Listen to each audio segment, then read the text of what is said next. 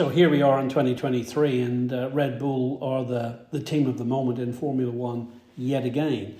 Uh, for those people who follow Formula One, uh, it's no surprise because Red Bull have been a, a, top team for many years. For people outside the uh, the sport and who don't follow it, very often the question arises: Well, so Red Bull, what do they do? They're not a car manufacturer, and the Red Bull story is such an interesting one because Red Bull came into Formula One by acquiring an uncompetitive team from uh, Ford Motor Company. They acquired the Jaguar Formula One team, a team which had never won a Formula One race in five years of trying. And the change which took place was so interesting because it was about leadership style, it was about culture. So Red Bull don't have more money than Ford, don't have a bigger factory. In fact, they inherited the factories that Ford had. So what was it that changed?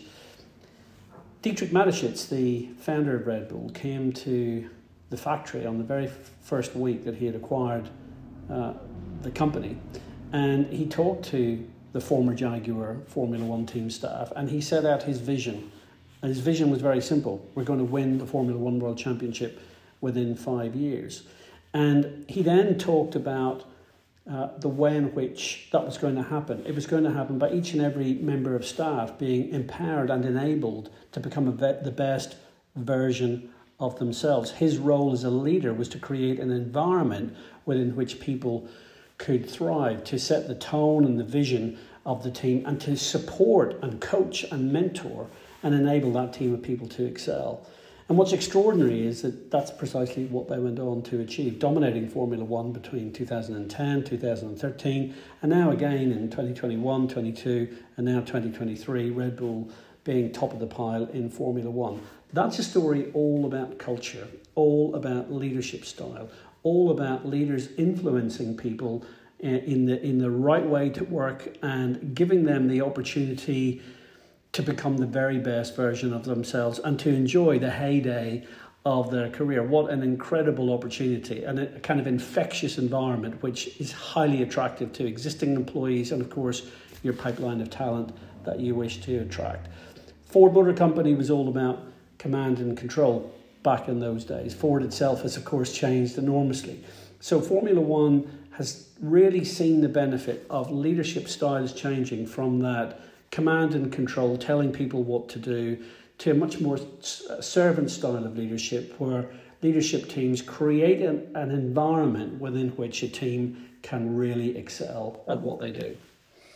Uh, according to the World Economic Forum, uh, the fourth industrial revolution is upon us. Um, and they talk about it blurring the boundaries between physical, digital, and biological worlds the fusion of advances in AI, robotics, the Internet of Things, 3D printing, genetic engineering, quantum com computing, and technology.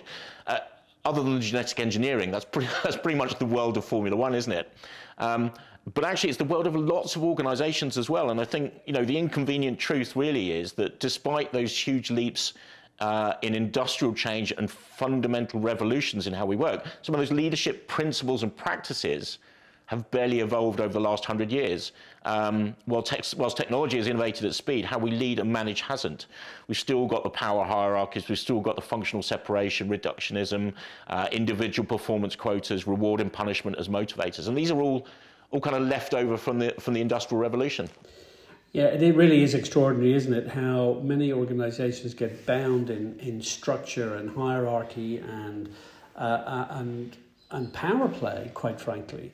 And within Formula One, you know, we we have really seen, if you look at Mercedes Benz and Red Bull, the top two teams of the last 15 years, both of them have very similar leadership uh, structures and indeed leadership styles within their business. It's one of genuine empowerment of the workforce, of creating an environment within which people can uh, excel by you know, playing to their strengths. So you're recruiting the smartest people you can, then let them get on with the job. And of course, in this complex world of fast changing technological environment, fast changing regulatory environment, fast changing customer environment, you need to be able to get the best out of teams, and that's only going to become that's only going to come by cascading the opportunity down for everybody to collaborate, to co-create, to work together to create uh, great outcomes. So we've seen lots of examples over the years of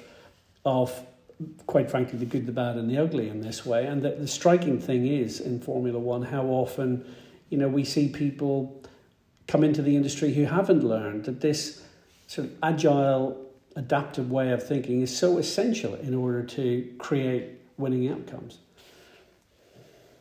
You talked about you've talked about sort of Ford having a bit of command and control in the early days. You've talked about the sort of the leadership shift that came with Red Bull and Dietrich coming along. Um, I'm always sort of reminded of Toyota because Toyota had so much, didn't they? They had this, you know, they're just the quality experts. They had the Toyota production system, Kaizen approach to things, which which proved so good in, in, in sort of stripping ahead of the US market with, with building cars and, and providing quality goods. Um, but they went eight years, and I don't think they ever had a win, did they? So what went wrong with Toyota?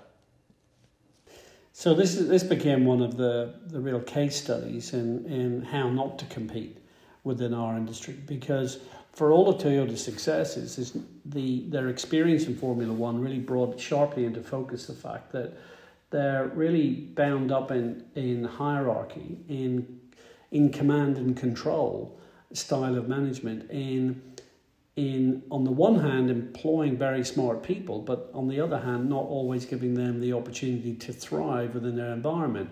And within the book i talk about um, Uh, a lecture that i gave with mike Gascoyne who's the former chief technical officer at toyota in which he talked about failure and why they failed and the fact that they again weren't benchmarking against the right things they were benchmarking internally instead of externally against the competition decisions were not being made fast enough. Decisions were not being made on what the data was actually showing them. So ultimately, you know, Toyota's failure was an example of what happens when an organization, you know, despite having all the resource you could possibly wish, just wasn't able to deliver because they didn't have the ability to respond fast enough to the market in which they found themselves and to the, the fast changing technological and regulatory environment that was all around them. So, you know, improving one or two percent a year seemed very good. The problem is the competition were improving four or five percent every year.